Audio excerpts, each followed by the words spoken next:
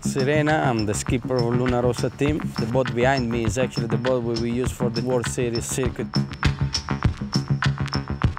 My name is Nick Hutton. I'm the bowman and a trimmer on board uh, Luna Rossa's America's Cup team. We're just here in LA and Hollywood filming a commercial for Prada.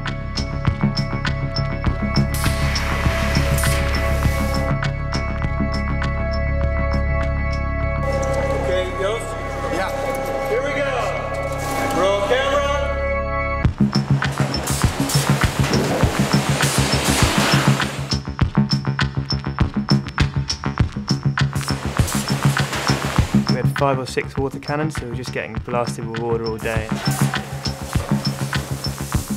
It's been pretty crazy sitting on the boat, sat up on the hydraulics that were moving around and, and getting whacked in the face by the water. I'm kind of nervous and looking forward to seeing it on TV and it's something that we'll, you know, remember forever. It's very cool.